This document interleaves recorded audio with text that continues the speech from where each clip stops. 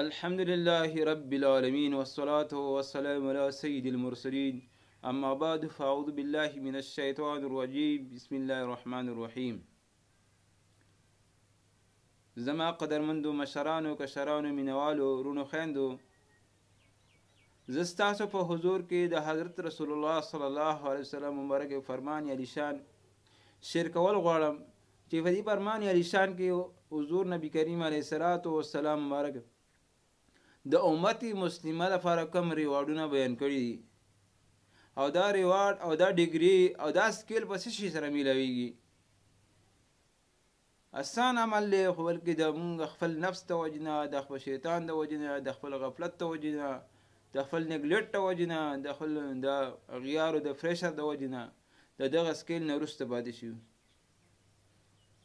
بلکې په دغه سکیل په دغه ډیګري بلندولو باندې په باندې فریشر دی چې تاسو دا سکیل نه ځان وروسته پاتې کوي او تاسو دا سکیل حاصل نه کوي دا حدیث مبارک حضرت عائشہ صدیقہ رضی الله تعالی عنها مبارکه هغه ذکر کړی دی او ترغیب او ترهیب په خپل کتاب کې ذکر کړی دی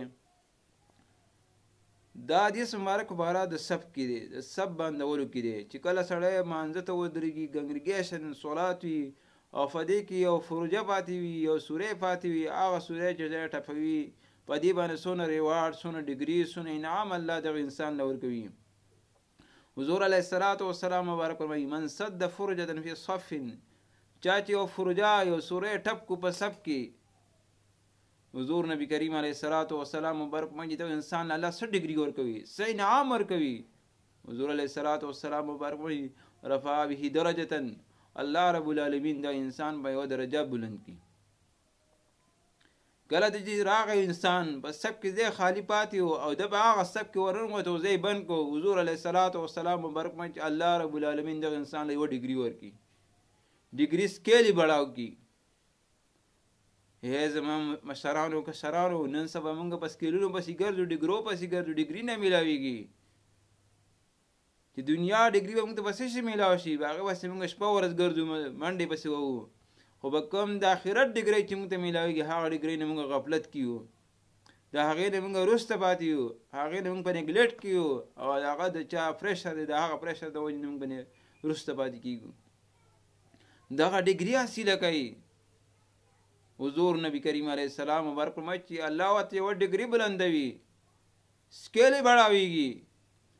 او بیا یوازې سکیل نه بڑاویږي بلکې الله سره دې سره سره نور انعامات هم ورکوي الله بشارت ورکوي حضور علیه الصلاۃ والسلام مبارک چې بنا له بیتا فی الجنه الله رب العالمین د انسان لپاره په جنت کې یو غټ محل تیاروي محل تیارول سونه مشکل کار دی په دنیا کې موږ یو کمره تیارو یو روم تیارو هغه لپاره دنیا قسمه مشکلات موږ برداشت کوو او په کم آسان عمل دی چې په هغې سره موږ ته الله رب العالمین په جنت کې غټ محل لا کوي چې د جنت ته محل هغه د دنیا د دنیا نه او د مافیها چې د دنیا کې سي د هغې نه بهتر دی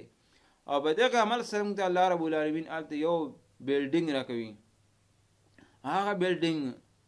چې بیوټي بلډینګ به وي ډیکوریشن بلډینګ به وي او خسته شوی بلډینګ وي الله رب العالمین په دې عمل سره راکوي چې کوم عمل موږ وکړو چې سب راشي به سب کې ودرېږو که مانځه کې او په مانځه کې سب خالي وي هلک زه موږ بند کړو الله رب العالمین دغه انسان له دا ریواډ ورکوي ای زما مشرانو کشرانو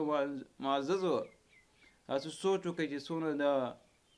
د دین اسلام څونه الله رب العالمین دی انسانانو باندې څونه انعامات کړي چې په آسان آسان عمل باندې الله رب العالمین ډیګری ورکوي ریوارډ ورکوي بلکې دغه ریوارډونه ولې موږ نه پاتې کیږي دا ولې موږ خپل له خپل ریوارډ مس کوو ولې ته موږ به غفلت کیو نو الله رب العالمین دې د حضور نبی کریم علیه الصلاۃ والسلام مبارک په حدیث باندې عمل نصیب کړي او دغه ریوارډونه دې الله زموږ نصیب کړي دنیا او آخرت ته الله زموږ کامیابی نصیب کړي